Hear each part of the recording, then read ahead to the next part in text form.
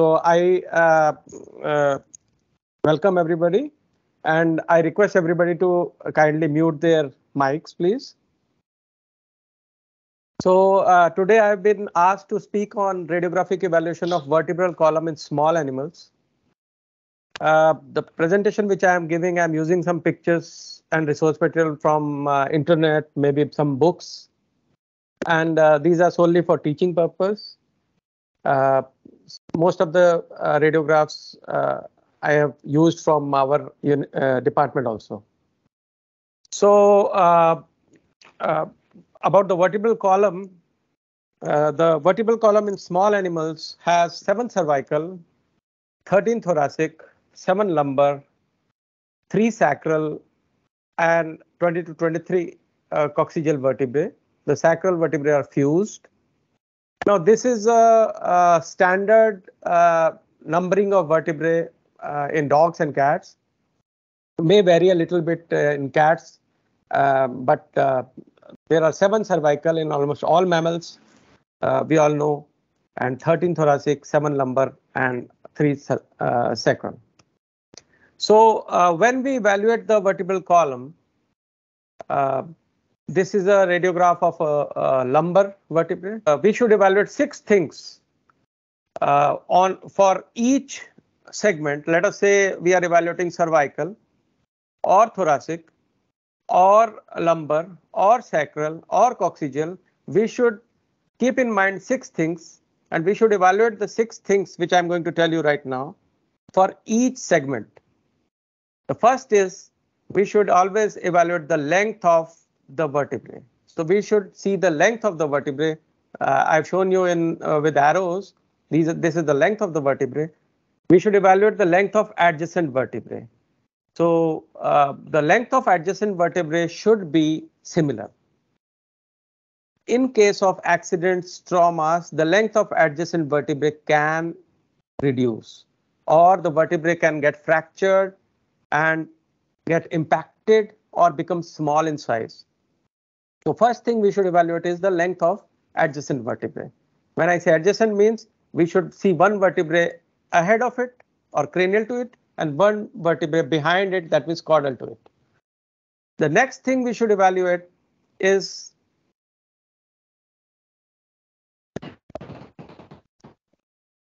the, the width of the adjacent intervertebral disc space. Now this space, if, if you see this space, this space is the intervertebral disc space. Now here there is a disc, intervertebral disc. I will come to intervertebral, intervertebral disc as we go along. This is the intervertebral disc space. So we should evaluate the width of adjacent intervertebral disc spaces. These should be equal to each other. That means there, there should not be any reduction in intervertebral disc space uh, in a particular segment. Let us say if I, we are seeing lumbar, so adjacent intervertebral disc spaces should be same or similar. The next thing we should evaluate is the vertebral end plates. The arrows which are shown here, these are the vertebral end plates. That means the ends of the vertebra. Now these vertebral end plates should be nice and smooth. There should not be any lysis. When I say lysis means eating up of the end plates. So there should not be any lysis of the end plates. There should not be any irregularity of the mm-hmm. vertebral end plates.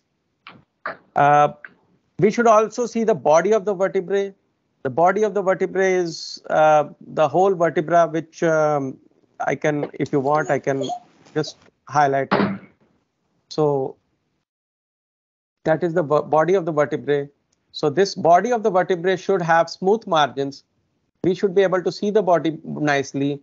There should not be any projections out of the body. Uh, I'll be discussing those things as we go along. So we should evaluate the body of the vertebrae, the vertebral end plates.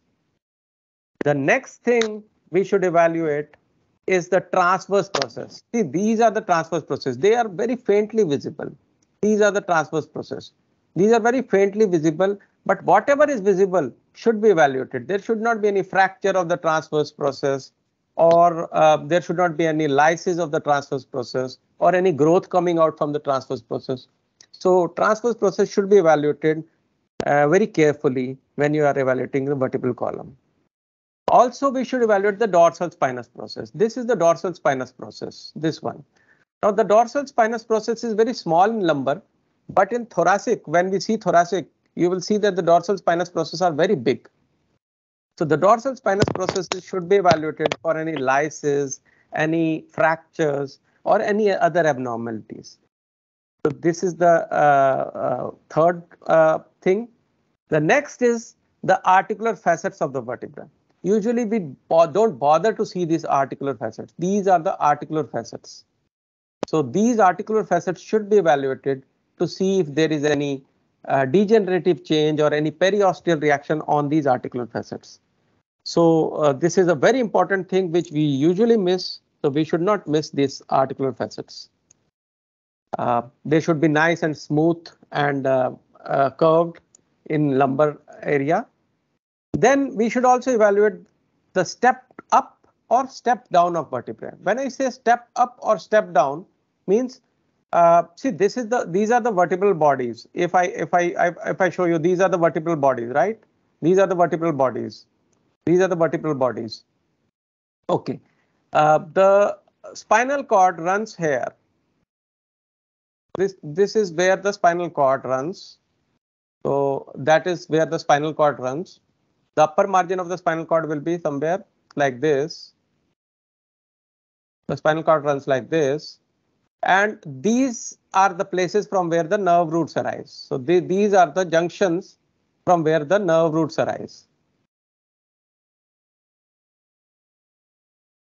Okay, so when we evaluate the vertebral column for step up or step down means this line this particular line, I'll uh, show you with uh, another color, maybe.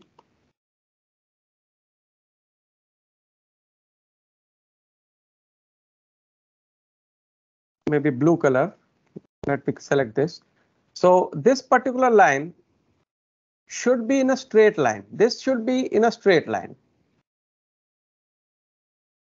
That means a vertebra should not be, this vertebra should not go up or some vertebra cannot go down.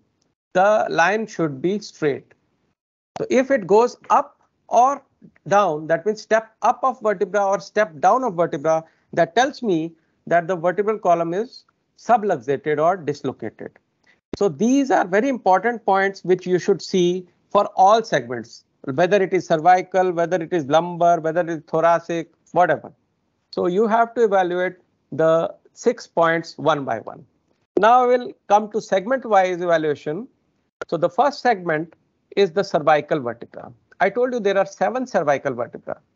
The first cervical vertebra is also called as atlas. Now this is the atlas. This, are, this is the atlas and these two parallel things which you see here, these are the wings of atlas. Now wings of atlas basically are like this. They are two fork-like things in, into which the dens of axis fits. The dens of axis goes and fits into the wing of atlas. So this, this particular vertebra, this particular vertebra is the axis. This is the axis. Right. And this is the atlas. Now, if you see carefully, you will see that the atlas is having a shape of a plateau. So the uh, Atlas is having a roof which looks like a plateau. Okay, flat surface. And the axis, you see the axis is forming a, a cap-like thing or a roof over the Atlas. So at any point of time, at any given time, the axis or the dorsal spinous process of axis should cover the dorsal arch of atlas at any point of time, at least one third of the dorsal arch of atlas should be covered by the spinous process of axis. That means this and this should overlap with each other. This should overlap each other. Now, even if the neck is bent to its fullest, still there should be overlap of atlas and axis. If the overlap is not there, the condition is called as or diagnosed as atlantoaxial subluxation. That is how you diagnose atlantoaxial subluxation. I'll, I'll show you a radiograph and we'll discuss that as we go along. So that is uh, the first uh, uh vertebra, that is C1, that is the atlas, that is the C2, that is the axis, and then there are C3, C4, C5, C6, and C7. So there are seven cervical vertebrae. So we have to be uh, careful in evaluating these seven cervical vertebrae. Uh, another important point I want to add here is the uh, sixth cervical vertebrae has a very long spinous process, uh, sorry, transverse process. So it juts downwards ventrally like this. So the sixth cervical, that is the identifying feature of the sixth cervical vertebra. That is how I know that this is sixth cervical vertebra. So you should be able to identify the sixth cervical vertebra that this is sixth. Automatically you will be able to identify the fifth and the seventh. Now these four, three C5, C6, C7 are very important cervical vertebrae because these are involved in wobbler syndrome. So we'll discuss that also as we go along. Uh, you see, uh, in cervical, the six points I have already told you. That means the body of the vertebrae, length of the body of the vertebrae, the width of the end plates, or the uh, this is the uh, sorry the integrity of the end plates, the width of the uh, intervertebral disc space. This should be similar adjacent disc spaces. Uh, the atlantoaxial subluxation uh, these are uh, the points which we have to evaluate for cervical vertebra. So the six points which I told you earlier and the atlantoaxial sub subluxation point that is uh, it should cover uh, the uh, dorsal arch of atlas the spinous process of axis should cover the dorsal arch of atlas and the six cervical vertebrae will always have a ventral projection. Now why I am telling you this again and again is because this ventral projection of the sixth cervical vertebrae, this ventral projection, I have seen many people diagnosing this as foreign body. We get cases where uh, the dog is vomiting and uh, uh, uh, the owner says that the dog has eaten a bone piece and you take a radiograph and you find that there is a bony piece here and we think that this is a foreign body and we then do an endoscopy or do a surgery to try to remove this foreign body and we don't find anything. Basically, this is the transverse process of the C6, which goes down like that. So you have to be very careful in interpreting C6. So this is transverse process of C6. It will always jut down like that. That is how I recognize this is C6. So these are the important points in the cervical vertebrae. Now coming to the thoracic vertebrae. Now you see the dorsal spinous process of the thoracic vertebrae, how long they are. These are the dorsal spinous process of thoracic vertebrae. Now in thoracic vertebrae, all the six points which we have already discussed, those six points are to be seen. Apart from those six points, the important points to note in thoracic vertebrae is that the ribs, each thoracic vertebrae will be having a pair of ribs the ribs will always attach cranial to the thoracic vertebrae. So the first rib will attach cranial to T1, the second rib will attach cranial to T2, the third rib will attach cranial to T3 and so on. This is a very important point to identify which thoracic vertebrae is involved. So you should understand that ribs will always attach cranial to the particular uh, vertebra. So these are the thoracic vertebra. So this is T1, T2, T3, T4, T5, T6, T7 and up to T13.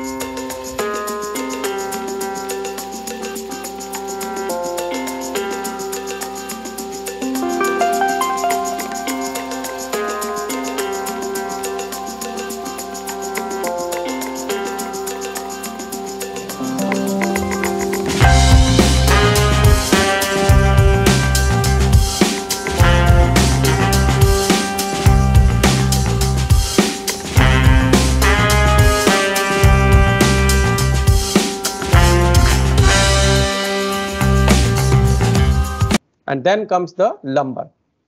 Now in thoracic vertebra, another important point to uh, remember is that just see the dorsal spinous process. These are the dorsal spinous process. You see that the th dorsal spinous uh, process of thoracic vertebrae slant backwards. Just see how they are slanted backwards. They are slanting backwards. At T11, the, the dorsal spinous process becomes at 90 degree. And then from T12 onwards, it starts slanting cranially. Now this T11 is called as the anticlinal vertebra because it has a straight dorsal spinous process. That is a very beautiful feature to evaluate or uh, identify that this is T11. If you know that T11 is anticlinal, you can evaluate or you can isolate that this is T11 and number the vertebra accordingly. So this is a very important feature. So in thoracic vertebrae, those six points which I have already told you in the beginning and the, the other two points to remember is anticlinal vertebra and uh, the ribs will always attach cranial to the corresponding vertebra. So these are the two important points for thoracic vertebra. Coming to the lumbar vertebrae, so these are the lumbar vertebrae.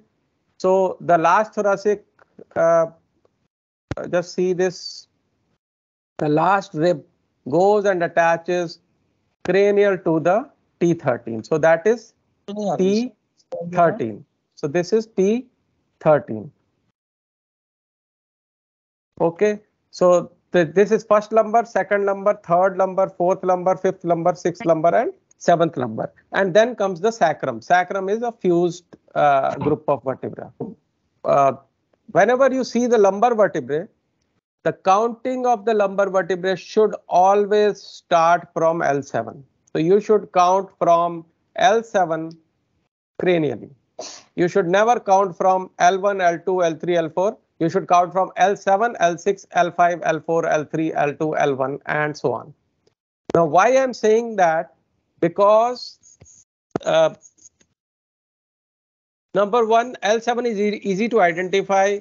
It is smaller than other lumbar vertebra.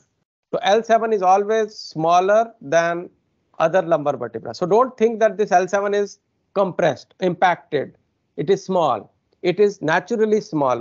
For lumbar, we have to see that the L7 is always smaller than the other lumbar vertebrae, number one.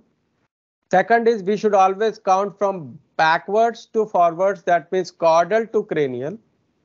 The third is, if you see carefully, in lumbar, you see that the, you are, if you, you people have played chess, I hope that uh, you should be able to identify this, uh, this particular structure. This looks like a head of a horse. Right? This looks like a head of a horse. So I call it horse heads. These are horse heads. So you should be able to see the horse heads. This is very important point for lumbar vertebrae. I will tell you the significance of horse heads as we go along. So you should see this is the horse head. Now what is this horse head? Now this is the horse head tells me that this is the place from where the nerves arise. I'll show you a picture. Now this is uh, a picture of the vertebral column. This is the gross picture and this is the uh, radiograph on the bottom. Just see this is the vertebra. So this is the vertebra. Here this is vertebra. This is the disc, intervertebral discs. This is the intervertebral disc. This is the nerve root which is arising. So this is the place from where the nerve roots arise. So the disc basically is composed of the outer fibrous ring and the inner nucleus pulposus. So nucleus pulposus basically is, you know, jam packed into the fibrous ring. It is, you know, packed with under very high pressure inside the fibrous ring. Now this disc basically acts as a shock absorber. Now, suppose the dog meets with an accident. Generally, disc will able to will be able to absorb the shock. But sup suppose the accident is so you know huge or the trauma is so huge that the disc ruptures, it will rupture from the dorsal side. The most common site is dorsal rupture of the disc. When it ruptures from the dorsal side, the nucleus pulposus shoots up into the uh,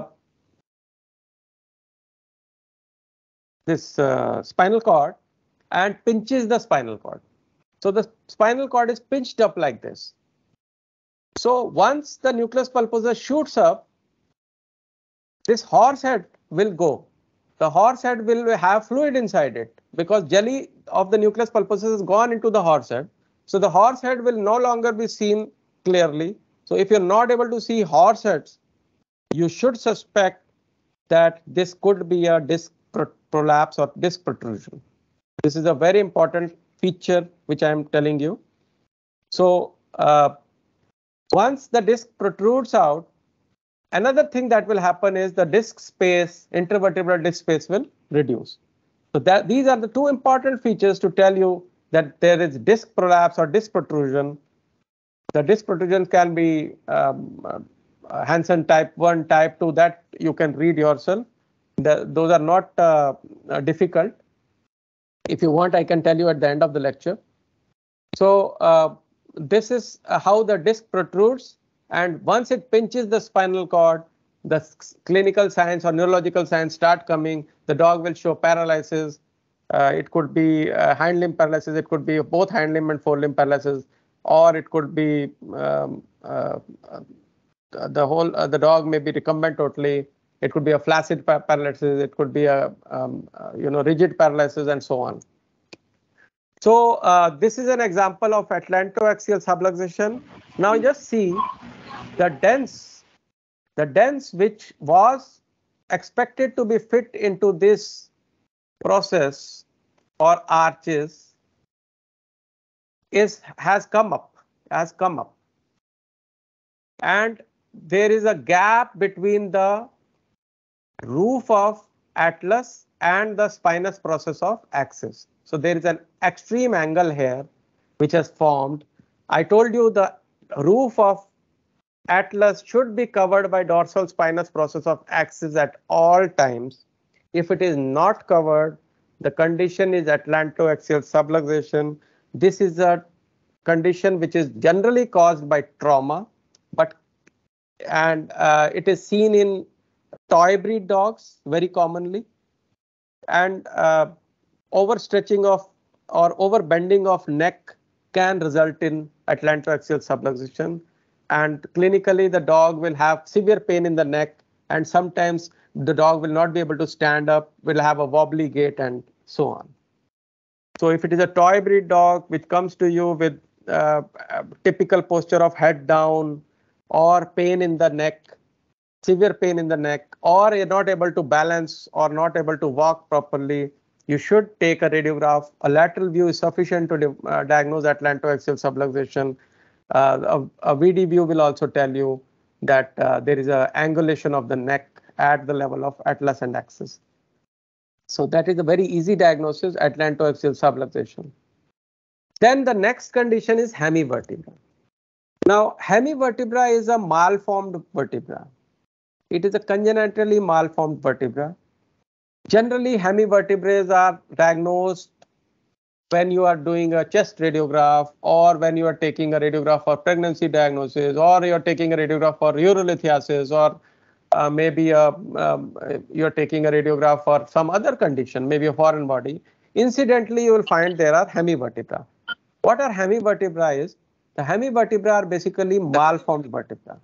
You will find that the vertebra may be this like this, or the vertebra may be like this, or the vertebra may be smaller than the adjacent vertebra. One vertebra may be small. So all these abnormalities are hemivertebra. This is a very common feature in French bulldogs, uh, uh, toy breeds, basically pug.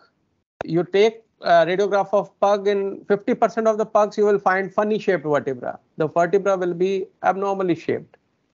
Now, these generally are diagnosed incidentally and generally they will not cause a problem. But sometimes these can result in uh, problems. The dog will not walk properly. The dog will not uh, uh may show uh, abnormalities like kyphosis, scoliosis, uh, lordosis, and so on. So you should be able to diagnose hemivertebra and correlate with it with the clinical signs.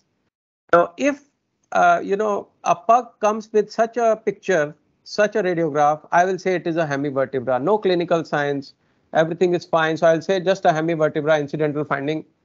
Okay.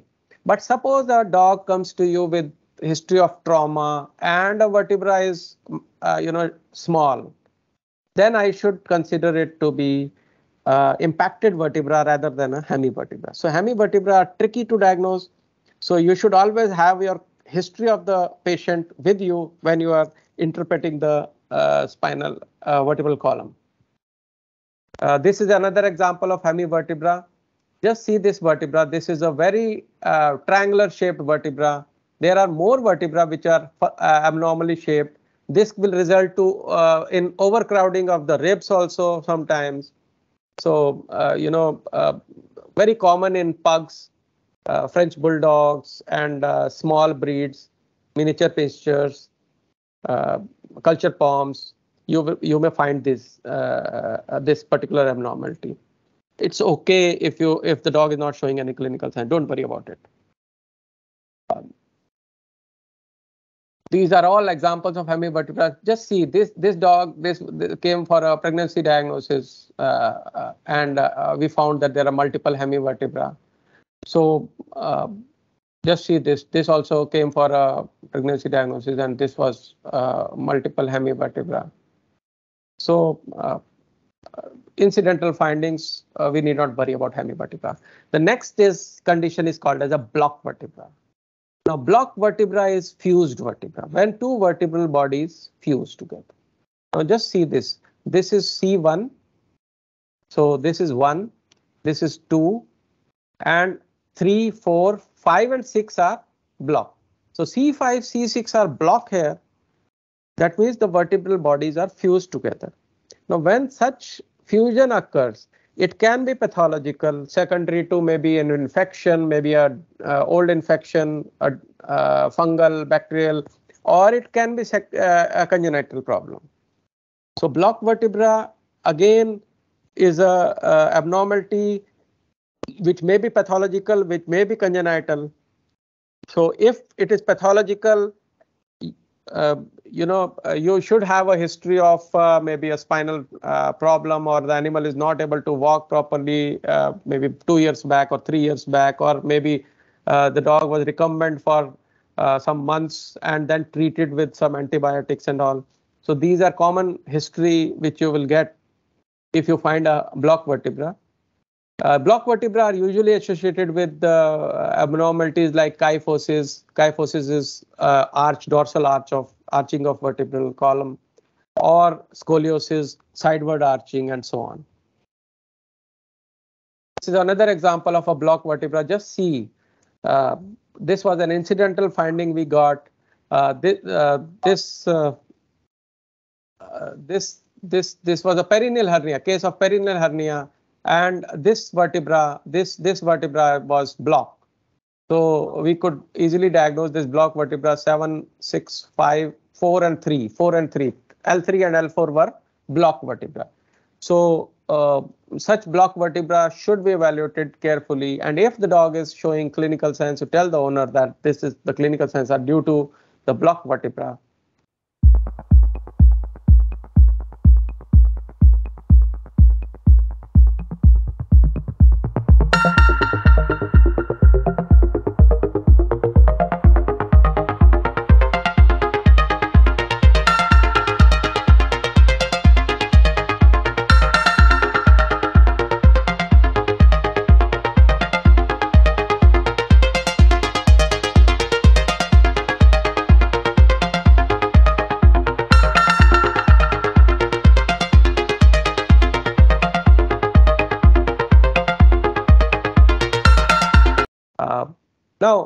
Congenital malformations of vertebral column are uh, not uncommon and you can see such congenital malformation. Just see this. Uh, it looks like this vertebral body is dislocated. There is a step up of this vertebra, right? So if I count from here, 7, 6, 5, 4, 3. L3 appears to be dorsally displaced, right? This, this case came to us and uh, uh, the history was not properly written on the form, unfortunately. And uh, I was doing the interpretation part and I was in the X-ray room and I interpreted this to be a dislocation, right? And then uh, the uh, when the uh, owner took the form or my report to the OPD, they said that the dog is moving fine, running around fine.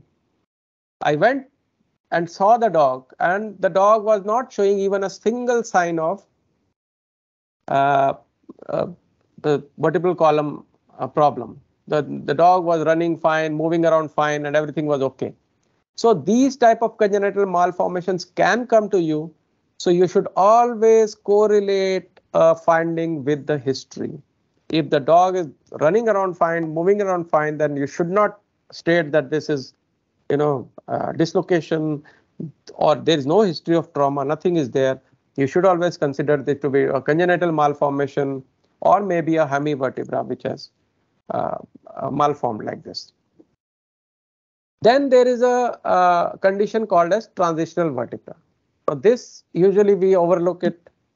Basically, uh, thoracic vertebra. How do we know that this is a thoracic vertebra? Thoracic vertebra are associated with ribs. I told you the ribs go and attach cranial to the at, uh, thoracic vertebra. So if a thoracic vertebra is not having a rib, that is transitional. So let us say that this is, I can't count. I don't know which is L7, right? So I can't count uh, which is this vertebra. So let us say that this is T13. Let us assume that this is T13. If this is T13, it should be associated with two ribs on either side. But here only one rib is there, the other rib is not there. So this is a transitional vertebra. Okay, let us assume that this is L1. I don't know, this could be L1 also. So let us say that this is L1. If this is L1, this should not have a rib. So this is transitional. So in any case, this is a transitional vertebra. So transitional vertebra is that vertebra which is showing a feature of other vertebra. So this is just a you know uh, incidental finding. This will not be pathologically related to any condition. You will the dog will not show any symptoms. This this is very important finding to report on your uh, you know X-ray report uh, because these are important features in legal cases uh, for example, this just see this. If we count from caudal to cranial, L7, L6, L5, L4, L3, L2, L1, L1 is having a pair of rib. So this is a uh, transitional L1 vertebra. So we call it transitional L1 vertebra. That is how we know this is a transitional vertebra. Now this is a uh, uh finding which you should report. We don't report it so this uh, we, uh, as a good radiologist, you should report this finding. Uh, this is another example, a beautiful example of transitional L1.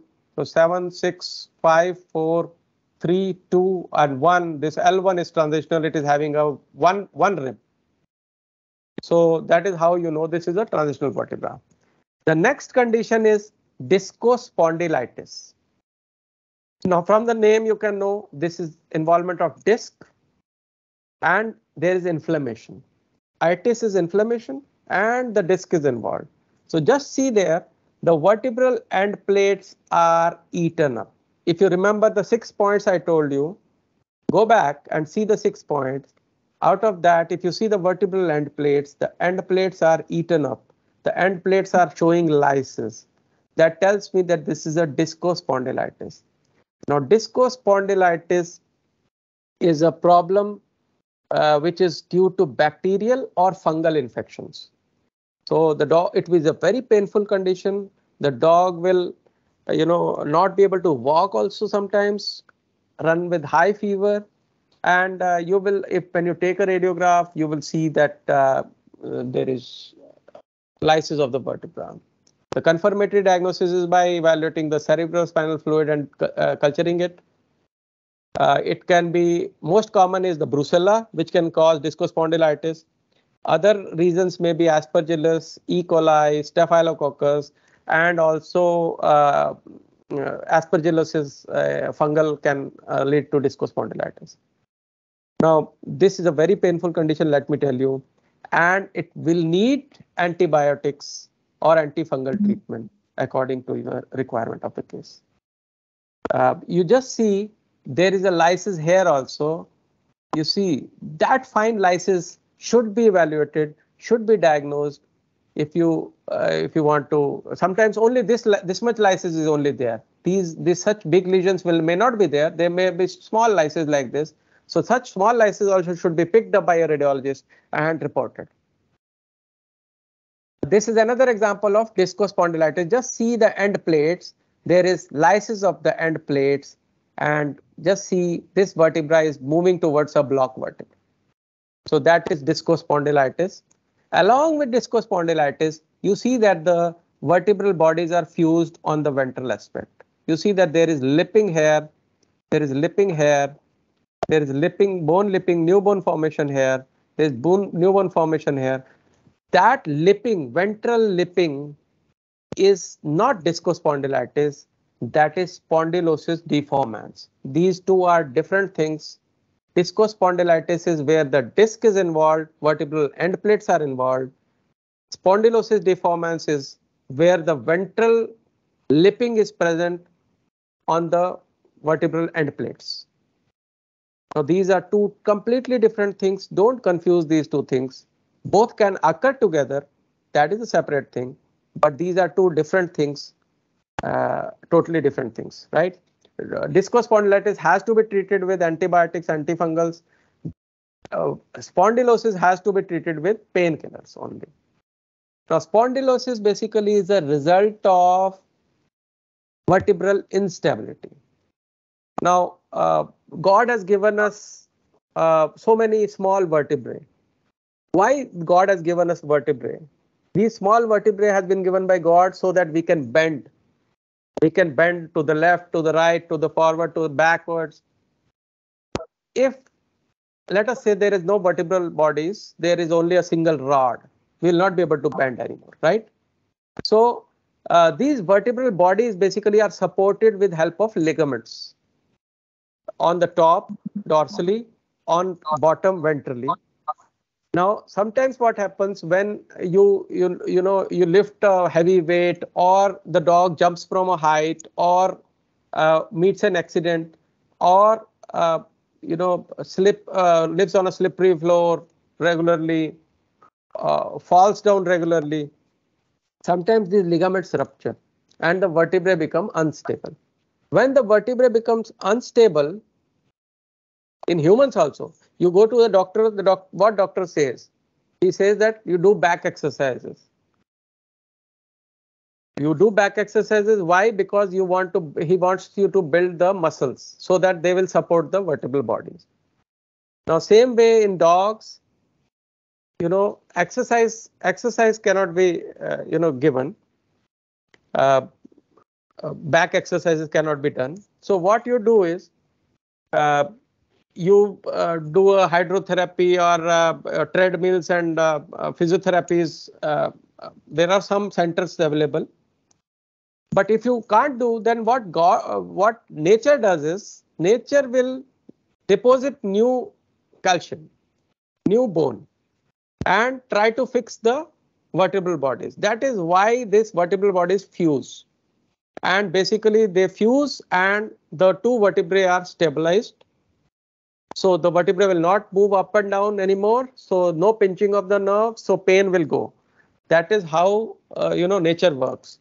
So that ventral lipping is the spondylosis deformans, and eating up of the end plates is discospondylitis. These two are totally different things. Now this is an example of scoliosis caused by a block vertebra. You just see the vertebra is blocked. So 7, 6, 5, 4 is blocked. So L5, L4 is block vertebra causing scoliosis, sideward deviation of the vertebral column. Then this is the example of spondylosis deformans. I told you there is ventral lipping. Now this lipping is from the end plates only. So you just see this lipping is on from the end plates. This is spondylosis deformans. Uh, this can be seen on uh, VD, uh, VD view as well. Lateral lipping is there. Just see this is lateral lipping on VD view. So you will see lateral and ventral lipping in spondylosis deformans. That tells you that these vertebrae are unstable. Then the next condition is wobbler syndrome. Wobbler syndrome is also called as cervical spondylopathy. Now this is seen in dogs. This is also seen in horses. Now generally C5, C6, C7 is involved. Basically these three vertebrae become unstable and there is usually there is step up of C6, C7 or C, uh, C5, C6. So there is step up of these vertebrae. So when the step up is there, the vertebra, uh, there, there is pinching of the uh, nerve. And when pinching of the nerve is there, neurological signs come and the dog will wobble. They, it will not be able to stand properly, not walk properly. So it will wobble. It will have a gait like a drunkard so after five pegs or six pegs, the uh, the gait that that type of gait will be there. So cervical spondylopathy is a wobbler syndrome. Uh, the best way to diagnose, confirm uh, the diagnosis is by using a myelography. So you can do a myelography. So you can uh, uh inject uh, contrast agent uh, into the CSF uh, at the foramen magnum. And uh, the contrast agent uh, will be seen flowing into the in the uh, spinal cord and you can see that there is pinching of the spinal cord at L6, L7. How I know this is L, sorry, C6, C7. This is C6 and this is C7. How I know this is C6 is this ventral transverse process. That tells me that this is C6 and that is C7 and that pinching of the spinal cord at level of C6, C7 uh, is wobbler syndrome. So uh, you can diagnose wobbler syndrome. This is very common in Doberman Pinscher dogs. It can be seen in other giant breed dogs also, but Doberman Pinscher is uh, commonly affected with wobbler syndrome. Then uh, this is degenerative joint disease. I told you among the six first six points I told you, you should evaluate the articular facets. The articular facet should be neat and clean. It should be having a nice curve like this. You can see this curve. It is nice and beautiful hair, hair. But here you see that there is periosteal reaction. Here you see there is periosteal reaction. There is mild periosteal reaction here also. This is all degenerative joint disease. Now this is again very painful condition. We don't bother to evaluate the articular facets. We should evaluate the articular facets carefully if you want to know what uh, why the pain is coming or why the dog is showing symptoms of pain.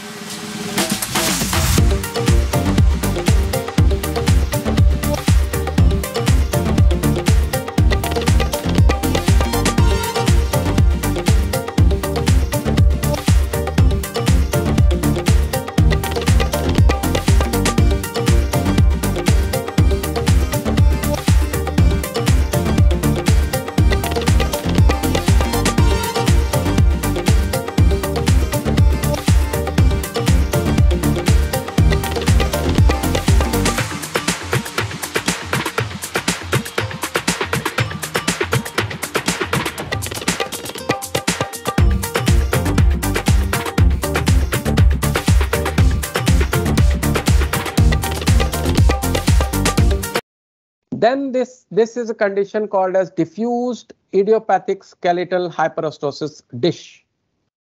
many times you see that the whole vertebral column is fused ventrally.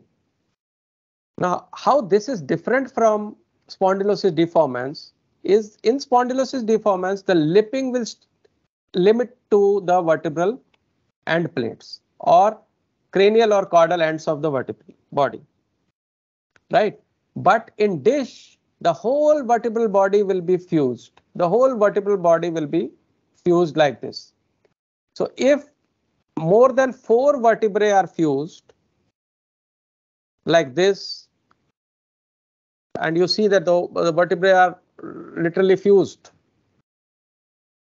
This is called as DISH, diffused idiopathic skeletal hyperostosis. So we get a lot of such cases and we overlook it, but these are the cases uh, very common, see, commonly seen in boxers, but can be seen in any dog, any dog, any breed, common in boxers. And these cases will not show any symptoms. These may be incident, incidental findings, but usually what will happen, the dog will have a restricted gait. It will walk, have a stiff walk. You see, vertebral bodies are fused, so naturally the walk will be affected. So the dog will have a stiff walk. And if the dog is showing paralysis or signs of paralysis, the cause of paralysis will be at the site where there is no fusion. This is the site where you will expect the pinching because rest are fused. So there is no chance of, you know, instability or pinching.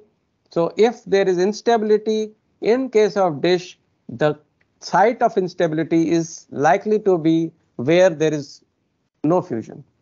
So this is important point about dish and you should report that there is a dish or diffused idiopathic skeletal hyperostosis when you see such a such a radiograph in front of you. Then fact fractures, fractures are easy to diagnose. You know, uh, just see the vertebral body is smaller than the adjacent vertebra. So usually fractures are impacted. Impacted means, uh, you know, you take a, a Coke, a, a can of Coke and just press from the top.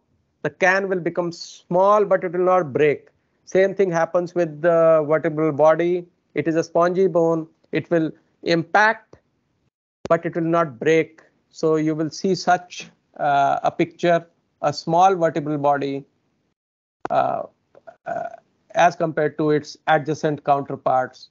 And these are fractures of the vertebra. These are impacted fractures. Once you see an impacted fracture, do a myelography to check whether there is a, you know, any break in continuity of the uh, spinal canal or there is pinching of the spinal cord or pinching of the nerves is there or not.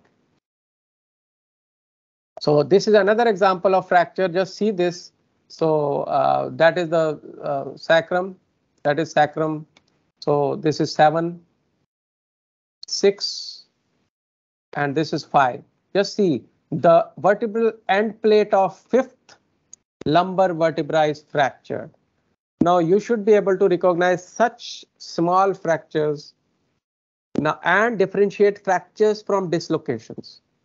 Now fractures are when the body or the end plate is broken. Dislocation is when the vertebra is dislocated from the intervertebral disc space. So you should be careful. Sometimes after fracture, the uh, you know it, uh, the vertebral body can go up that is not dislocation, that is a fracture. For example, see this, this is a subluxation. Just see the step up. So just you see this at this point, there is a step down here. So this is step up here. So that is step up and just see the intervertebral disc space that has reduced. So you know that there is a intervertebral disc prolapse as well as there is dislocation or subluxation of the vertebra. Now count the vertebra. If we count the vertebra, so presuming that this is not a transitional vertebra, so this this this is T. This is the last rib that goes and attaches to this. So this is this should be T13. This should be T13, and this should be L1. So L, T13 and L1 is this one. Now here, if you see this particular radiograph, you can see that this is not a dislocation, this is a fracture. Now see the vertebral end plate is still in its own position. This is the vertebral end plate of this vertebra. So this vertebra is broken at the level of end plate and gone up, displaced dorsally. So this is a fracture of T13 vertebra. So T13 is fractured at the level of caudal end plate. So that is how you report in your, um, you know, uh, interpretation. In your interpretation, you have to report that there is a, a fracture of caudal end plate of T13 and there is dorsal displacement of T13 vertebra. That tells you that uh, uh, the correct picture of this radiograph. Then you can do a myelography to confirm how bad it is. Nowadays CT has come, so nowadays people are uh, having uh, CT, uh, help of CT also. Then uh, vertebral tumors can also be seen. Now, vertebral tumors are generally having a bad prognosis and usually are diagnosed very late uh, how to diagnose vertebral tumors is I told you you have to check the vertebral body, the integrity of the body. You should be able to see the body nicely. Uh, the dorsal, the end plates, the ventral border of the vertebra should be very clear, clearly remarkable. If you're not able to see the borders clearly, that is likely to be neoplasia or eating up of vertebral bodies. So just see here, there is a, a, a eating up of vertebral body here. And in this, there is an eating up of L7. The whole L7 is eaten up. So such such cases, you know, generally are presented very late to us. With uh, generally, owner will notice when the swelling uh, is visible on the top, and uh, sometimes these tumors invade into the uh, uh, spinal canal or pinch the uh, nerves and then paralysis comes due to no apparent reason, no trauma, and then you take a radiograph and you find that this is invasive. Uh, you have to do a CT to confirm how bad it is, how how much it is involving the uh, spinal canal. Uh, this is this this case come came to us uh, maybe in January this this year, and uh, this was a German Shepherd dog with a, a, huge swelling on the neck. So uh, we took this radiograph. We thought that this is an abscess. And then we took this radiograph and we found that there was lysis of the dorsal spinous process of C2. So if you see the dorsal spinous process of C2, it is showing lysis. There is lysis of this dorsal spinous process of C2. Now, uh, this was a very bad case, and we did did a, a FNAC, uh, but uh, owner did not turn uh, turn up for for um, uh, further uh, interventions. we we found that this was a tumor arising from the dorsal spinous process. Now, such cases come to you, and uh, sometimes uh, you know trauma cases come to you and uh, you are at a loss that uh, we want to take a radiograph of cervical region or thoracic region or lumbar region or uh, uh, sacral region. So you should be able to localize the lesion. So i'm not going to discuss the whole neurology today but i'll tell you just quick tips how to localize a lesion whether the lesion is in cervical or whether the lesion is in thoracic or it is in lumbar. So I'll just try to quickly uh, explain to you uh, how to localize the lesion. Uh, so see, uh, this is the uh, sketch of a vertebral column of a dog or a cat. You see there, there are seven cervical, 13 thoracic. Just a minute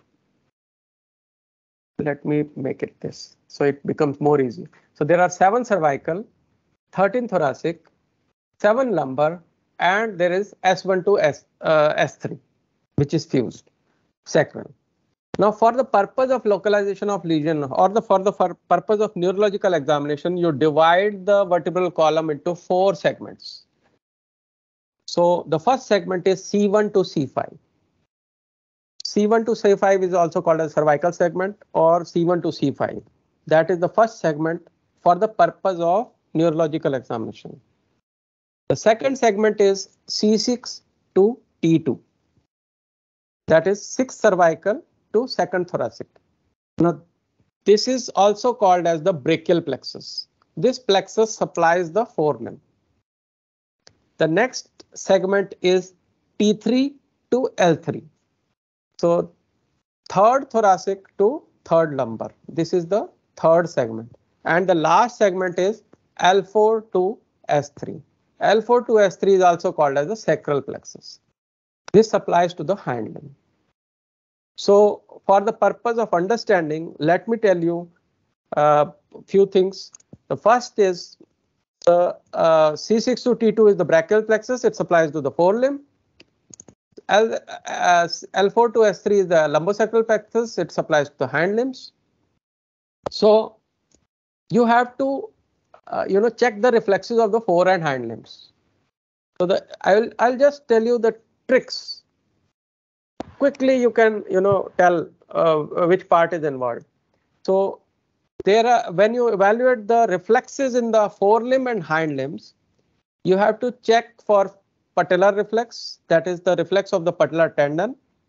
So what you have to do is uh, you have to strike at the mm. patellar tendon. That is, uh, you feel the patella, palpate the patella. Just below the patella, you will feel a taut structure.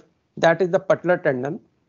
You just strike on the patellar tendon of a dog, and you will see that the limb will have give a slight jerk. That slight jerk of the limb is normal.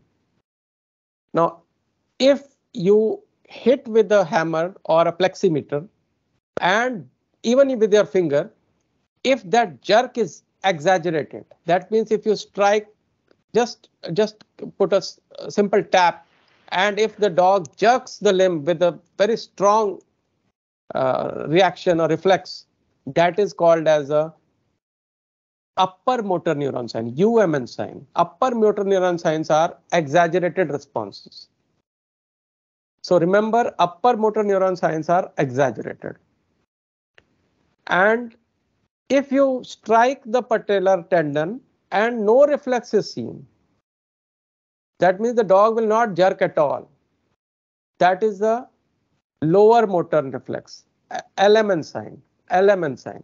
So exaggerated response are UMN, lowered responses or no responses LMN. So you have to remember these two terms, LMN and UMN. This is for the hind limb. So patellar tendon reflex is very good reflex. You should be able to uh, easily, you know, do this test using your fingers or maybe a artery forceps or maybe a pleximeter. In the forelimbs, you have to strike at the lateral aspect of the elbow. Just below the elbow, on the lateral aspect, you strike, keeping the limb in a relaxed position. So the carpal is relaxed and you just strike at the level of elbow. This is the extensor carpi radialis muscle. Now, when you strike that extensor carpi radialis, what will happen? The carpus will show a little bit of jerk. So if you see little bit of jerk below the carpus, that means the paw will jerk. Or you can also see uh, uh, some reflexes or twitching of the shoulder joint, or sh sorry, shoulder muscles. Uh, in this particular extensor carpi radialis. Now, this is a very important response for the forelimb. So if the responses are normal, you will see a small jerk. If it is increased upper motor neuron, you will see a very strong jerk. If it is LMN, lower motor, you will not see any jerk. So that is how you uh, evaluate the forelimb. For four limbs, you can also evaluate the, uh, you know, uh, uh, triceps and biceps. But uh, I think extensor carpi uh, radialis is very easy to, you know, evaluate. as compared to triceps and biceps. So uh, now if if UMN and um, uh, LMN is clear, you have to remember three statements. The first is regions behind the lesion. When I say region means limbs. Limbs behind the lesion will always have upper motor neuron sign. So this is a very important thing. So suppose, let us say that, that there is a lesion at T9. So the limb behind the T9 is hind limb. So hind limb will always have upper motor neuron sign. If I say that there is a lesion at C3, so which limbs are behind C3? Forelimbs as well as hind limbs. So forelimb will also have upper motor neuron, hind limb will also have upper motor neuron. So regions or limbs behind the lesion will always have upper motor neuron sign. The next is limbs cranial to the lesion will always be normal. So let us say there is a lesion at T10. Okay. So if there is a lesion at T10, the hind limb will show upper motor neuron. That means exaggerated responses. The forelimbs will be normal. So that is how we interpret. The third point is regions or limbs corresponding to lesion will always have LMN sign. So the corresponding limbs is only C6 to T2 for forelimbs and L4 to S3 for hind limbs. So if there is a lesion, let us say in T1. So if there is a lesion in T1, the forelimb is corresponding to that. So it will have a lower motor neuron sign. And what will happen to the hind limb? The hind limb will have a upper motor neuron. So the first line stands true for the hind limb. The second line stands true for the forelimb. Similarly, if there is a, let us say there is a lesion at L6. Okay, if there is a lesion at L6, hind limb will have LMN. And what about the forelimb? The forelimb will remain normal. So these three lines or these three statements should be remembered always and you will be able to get an idea that this part is involved. I'll take a radiograph of this particular part of the vertebral column. So let us say that there is a lesion between C1 to C5. OK, the first segment. So what do you expect in forelimb? So in forelimb, we will expect a upper motor neuron sign. The first line, first statement, just see the first statement. In hind limb also we will expect a upper motor neuron sign. Suppose the lesion is in C6 to T2. So in forelimb we will expect a lower motor. The last statement. And in hind limb we will have a upper motor.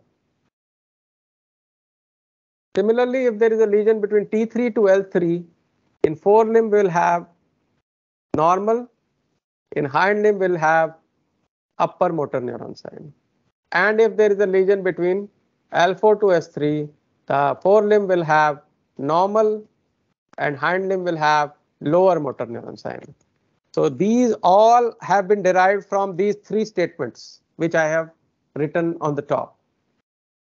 So once you find this once you you you record these signs LMN and UMN you will be able to you know find out or localize the lesion and accordingly take a radiograph and do further investigations. But there are two small ex exceptions. There are two small exceptions. The first is the Schiff-Sherrington response which is when the lesion is in T12, T13, L1. Whenever there is a lesion between T13 or T12, T13 or T13, L1, then what do you expect in a hind limb? In hind limb, you will expect a upper motor neuron sign. So that is okay.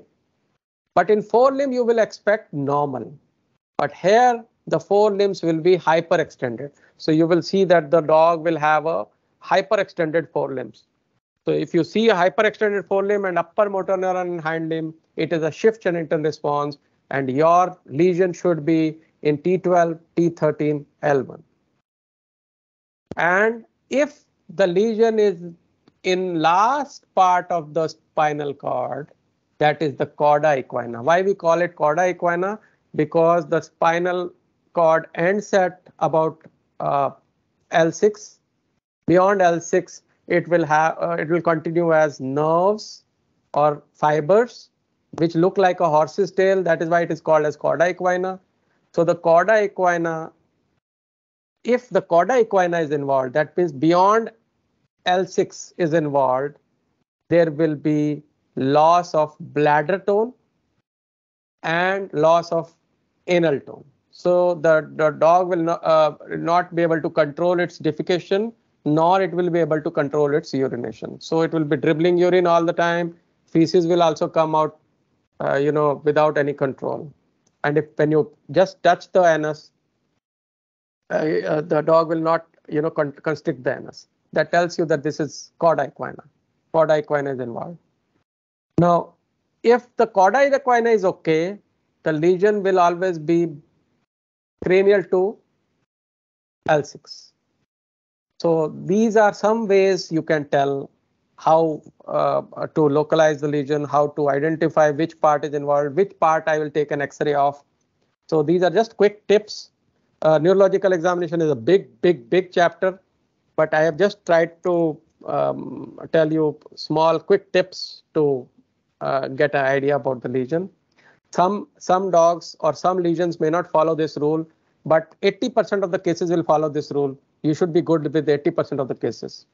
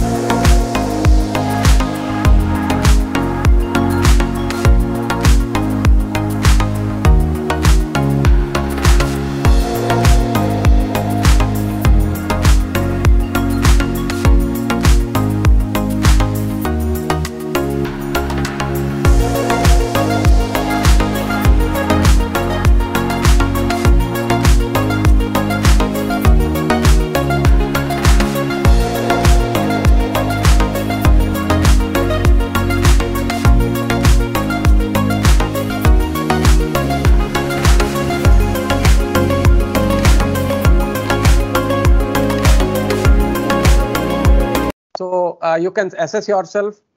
Uh, uh, you can, uh, if you want, uh, you can answer these questions in the comment section uh, as you wish or as the organizers want. I have I have done my presentation and you can. Is, there are some self-assessment questions. Do you have? You have?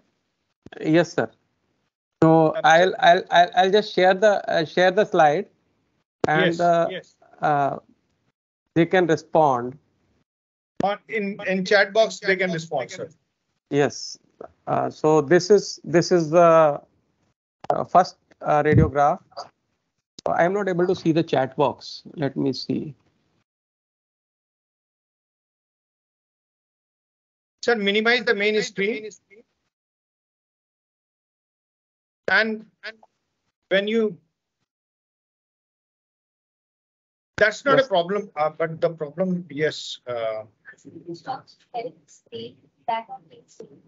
but the problem is if he's not sharing the screen, how will he be asked the question? Sir, first of all, you share the screen on the full screen uh, mode. And you can uh, you can ask your question. So I have uh, this is the uh, this is the radiograph. You they can assess themselves. So uh, one visible one visible thing to I can also I'm expert now to this this problem. so what is this? Uh, this is this the answers are expected to be given in a chat box and we will read out chat box uh, after one you, minute you, of the uh, one minute is too long. Time, it, it, it, should it should be 30 seconds. quick, quick. Okay. 30 seconds, 30 seconds, right. Yeah. Yep, yep. Kanika, please start your 30 seconds time.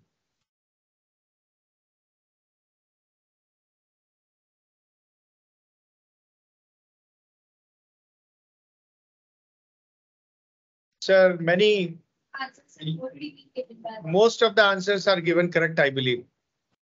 So this is But if you are asking, there may be some twist in that. No, no, no, no, no, no, no twist. No twist, sir? These are the, these are simple questions. Yeah. 30 seconds are over. Uh, this is a case of DISH, doctor. Yes. Correct. Correct. Correct. Absolutely. Yes, most of the most of the answers. Okay. The next one. The next question is there. This dog met with an accident. Right. Don't have to speak. Please uh, write your answer in chat box only. 30 seconds time is there.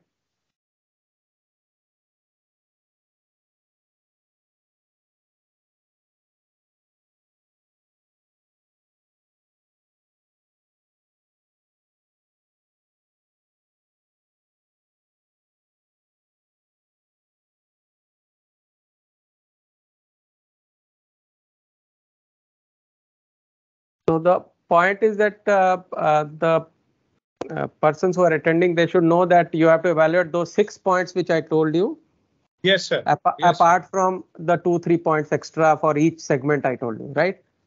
Yes, sir. So I, I hope that uh, you should be able to diagnose this. This is a very easy diagnosis. So time is over, I believe, Kanika. Yes, yes. Uh, So So- now you have to tell us the exact answer and then I, we will tell you the who's the. Uh, there right is, answer. uh, this is uh, C1, C2, C3, C4, C4, C5, C5, C6, C6, C7 are the disk space is gone. So there is redu- reduced intervertebral disk space between C4 to C7 vertebrae. impacted. Okay. There are wobbler syndrome. Some people have written Yes, wobbler will be okay. Fracture of atlas. Some uh, have No, no, written fracture. That is not fracture of atlas. That is not fracture of. uh, many people have written then dislocation C3. This was trauma, no? Uh, when I when I say trauma or ha- met with an accident, wobbler automatically goes away. Wobbler It is is not C2, problem. C3 block. It's not a block. No, no, uh, no, it is not block. It is trauma, accident, after accident, है ना? Right.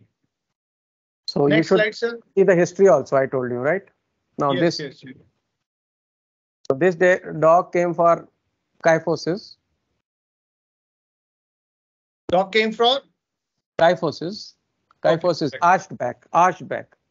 Owner Right, complained right. that there is arched back. This was a pug. Okay. I was about to ask that this look like a pug uh, spinal cord.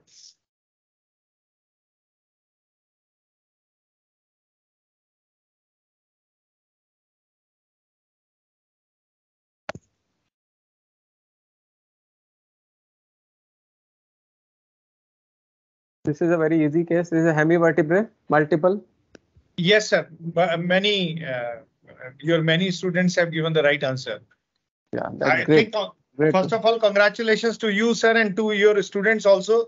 Uh, I mean, they are, they have learned a lot from this lecture. Now, next slide is there.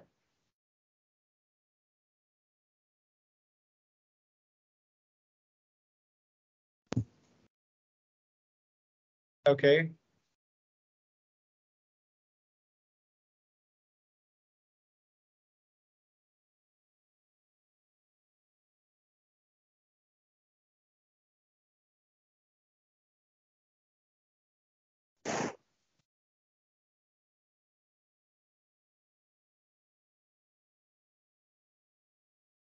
Time is over. So there is fracture Yes, of sir. L4. There is fracture of L4 with a ventral displacement of the caudal caudal segment, है ना? Ventral displacement and of the caudal segment. Caudal right, part, है ना? Right. Caudal part. And there is a spondylosis deformans of uh, seven, uh, four, three, two, one. L1, uh, L2, I suppose, है ना? L1, L2. Yes, yes. Yeah, yes, yeah. Thank you.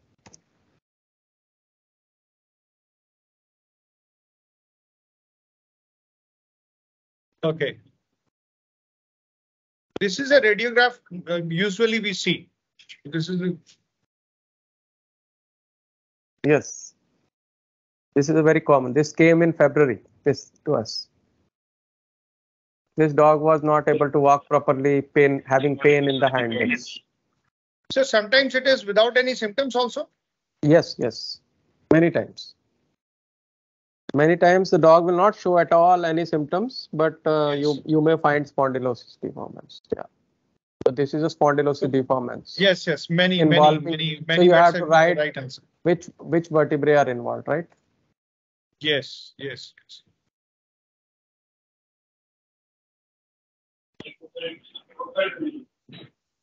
The next slide is there. slices of lumbar vertebrae. Sir, don't have to say, just write your answer in your chat box, please.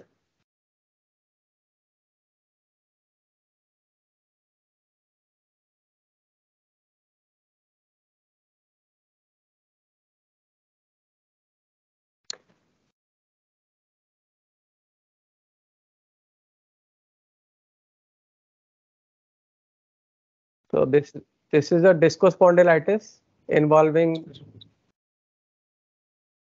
L5L6 and vertebral end, end plates. There are Yes. multiple multiple cystoliths also, multiple urethroliths also. Yes, So multiple multiple bladder stones also and urethral stones also, right? yes, right.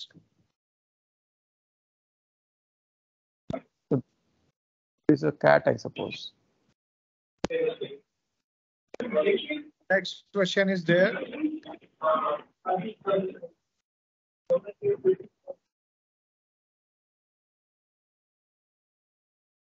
So uh, this this this was a cat, I suppose, if I'm not wrong. And uh, this came for uh, animal was not passing stools. Okay, No, no history of trauma.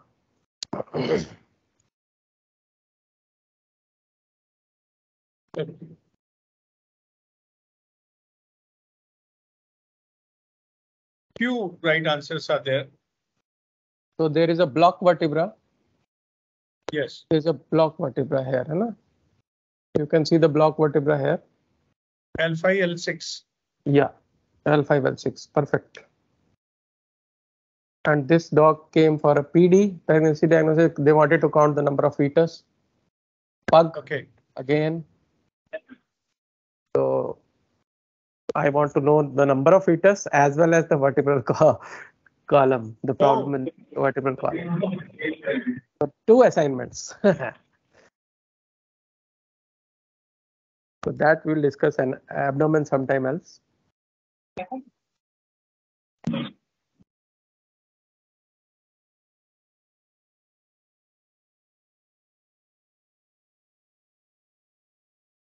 There, there are multiple uh, hemivertebrae.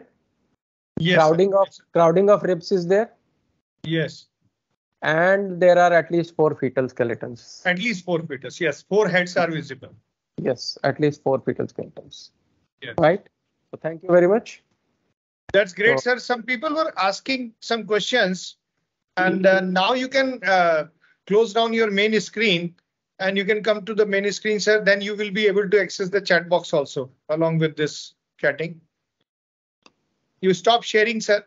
Yes, sir. So now if you see on your top, uh, there is a where multiple, there is a tray. So first option is chat. You can open the chat, sir, on your screen. And there are some questions people uh, just mentioned in between. So anybody who wants to ask any question, they can ask right now. Uh, excuse me, sir, my chat box is not working. Can I ask you a question on uh, this chat? Uh, Sure, sure, sure, globally? please. You can, you can. Uh, sir, I just want to know how can we differentiate between a hemivertebrae and an impacted fracture since size is reduced in both of them. So, See, uh, history that that is why I told you history should go along. So you Okay. should you you should uh, see the history properly. Yeah. So uh, if history is there that there is trauma and the dog uh, or recent accident and the dog is showing symptoms, right? So it is likely to be impacted fracture. If it is the uh, toy breed dog, I told you the breeds which are commonly involved with hemivertebrae, then uh, uh, and their dog is moving around fine, no history of trauma, it is likely to be hemivertebra.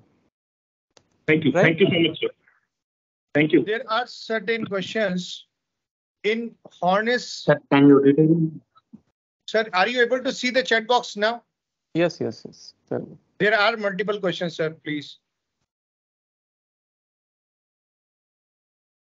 So let me start from the begin, beginning. uh, Upper motor neuron and lower motor neuron, doctor, few uh, vets are asking. Upper motor neuron and lower motor neuron, Hmm. uh, they want to know the details again.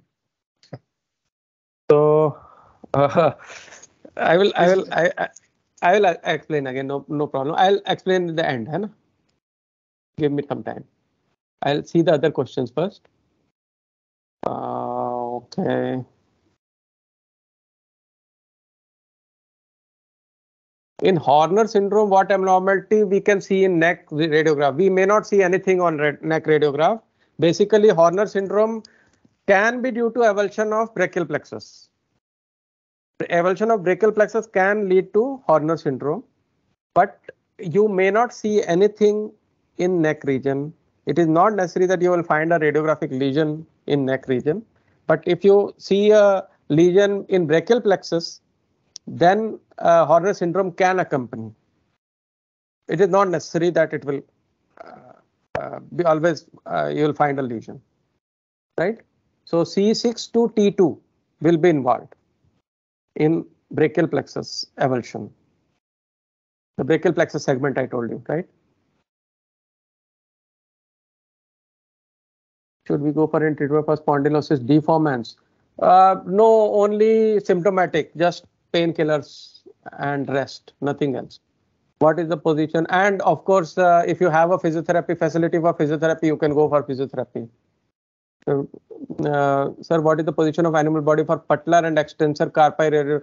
So uh, you have to see the patellar reflex uh, in lateral recumbency with the effect uh, with the limb being evaluated uppermost. So let us say you are evaluating the right limb, so you should place the animal in left lateral recumbency. So right limb will be uppermost, and then you can just tap the patella or extensor carpi radialis. So affected, uh, sorry, evaluated to be evaluated limb should be uppermost. So do you give online courses in radiology? No. Uh, uh, what is the fixation technique that you are using to stabilize vertebral fractures? Plating can be done. Transfixation can be done. Can you please comment on lumbosacral stenosis uh, diagnosis and treatment? Um, mm, I have not. I, I'm not included. You can uh, personally contact me. I can give you this answer. Huh? Uh, sir, how to calculate VHS in dog? Oh, This is not. We will not calculate. This- Ha, no, we will not be able to calculate. In kyphosis, we will not never calculate VHS. Uh, what is the treatment of DISH, sir? No, no treatment for DISH. It, it is usually an incidental finding, uh, uh, common in boxers, and uh, you can't do anything about it. How to differentiate between uh, the neoplasia and discospondylosis, spondylitis based on X-ray. Uh, discospondylitis will typically involve the vertebral end plates. Neoplasia will generally involve the body of the vertebra. So that that is the difference. Atlanto-occipital joints, any significant? No. Atlanto-occipital joint, no. So treatment of discospondylitis and spondylosis. Discospondylitis needs to be treated with antibiotics or antifungal depending on what kind of infection is there you have to isolate the bacteria and CST and accordingly antibiotics or antifungal has to be uh, given. But you have to first confirm what is the reason. Atlanto-occipital joint, any significance meaning? No, I can't tell you. Please quickly describe the RDS interpretation of IVD type 1 and type 2 intervertebral disc uh, Hansen type 1 In Hansen type 1, what happens is the, I'll just tell you broadly. Uh, in Hansen's type 1, the annulus fibrosus breaks and the nucleus pulposus goes into the spinal cord and pinches the spinal cord. But Hansen's type 2, there is herniation of the annulus fibrosus. So that means breakage nahi hoti. Annulus fibrosus goes up, herniates into the spinal cord and compresses it. Compression is seen in both uh, conditions. But in Hansen type 1, annulus fibrosus ruptures. In Hansen type 2, fibrosus protrudes into it. But it does not rupture. मतलब weak हो जाता है. Protrudes into the spinal cord. Uh, treatment is more or less the same. You have to decompress. So do a, a dorsal uh, laminectomy or hemilaminectomy or ventral slot, whatever you are comfortable with. Do you recommend physiotherapy, complete rest in case of vertebral disc disease? Vertebral disc disease, we will recommend complete rest. Followed by, after the dog starts walking, slow physiotherapy. Initially, complete rest, cage rest is recommended.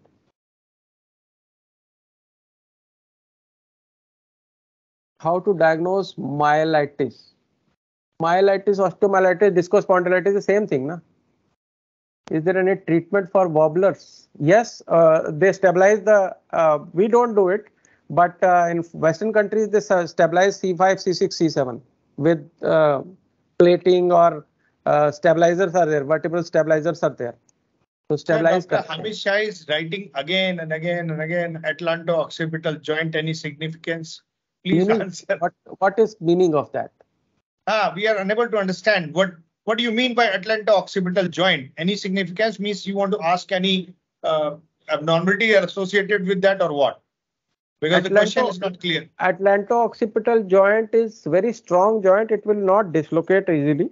And if it dislocates, you don't have any treatment for that. Basically. Atlanto-occipital joint is uh, a very strong joint actually. I don't know uh, what he wants to ask. What is the role of conscious proprioception of lameness? No, no, beyond my. What is the prognosis of vertebral transfixation procedure? Variable prognosis depends on how quickly you do the surgery. Uh, if if the uh, case is uh, dealt with very early, you can have a good uh, uh, prognosis. and is significant corticosteroids in paraplegia due to vertebral luxation and also how to calculate dose and route of this is beyond uh. Oh, oh, protocol for paraplegia. Uh, can you please share child and uh, hi sir, can you please? Okay, so more or less I have answered most of the questions. Uh, last, I have uh, one question is there. How do we treat a trace of case of cauda equina damage with the lost bladder tone due to trauma? आगे क्या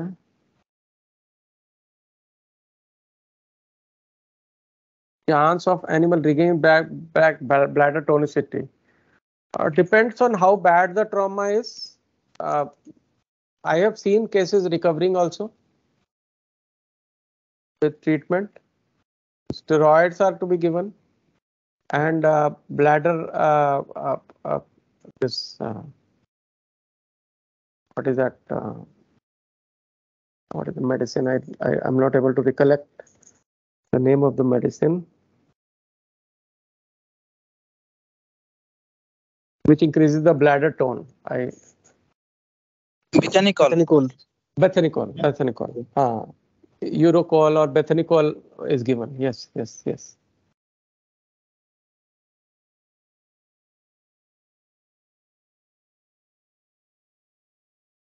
Sir, can you show us any for transfix vertebra? Sir, can you treatment part i'm uh, I, I would like to avoid. I am uh, uh, basically presenting on radiography.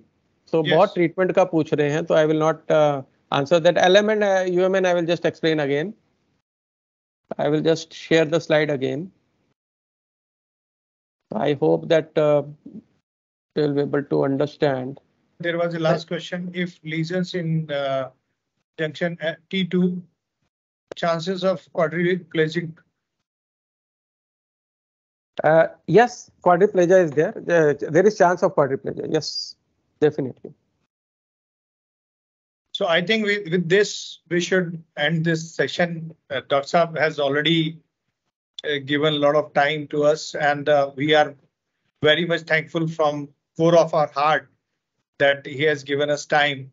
And on this common platform, I would request him to again spare. I know he's getting uh, these days he's very busy and some family things are also there. So we would be expecting whenever Dr. Sabar is free next time, we will have a- another session on different topics. So those people who were asking about the online uh, education program, stay connected with us. Saab is always there to help us. So he will be coming again and again on this platform in a month's time or uh, whenever he is free. But definitely we are going to cover the whole radiology with Dr. Saab only. So thank you with this, sir. Thank you very much for your precious time. It has been a very wonderful session, sir. Thank you. Thank you, Dr. Saab, for inviting me. Thank you. Thank you all for listening and having patience to listen to me. Thank you. Thank you, sir. Okay, sir. Have a Thank great you. Sunday. ahead. Thank you.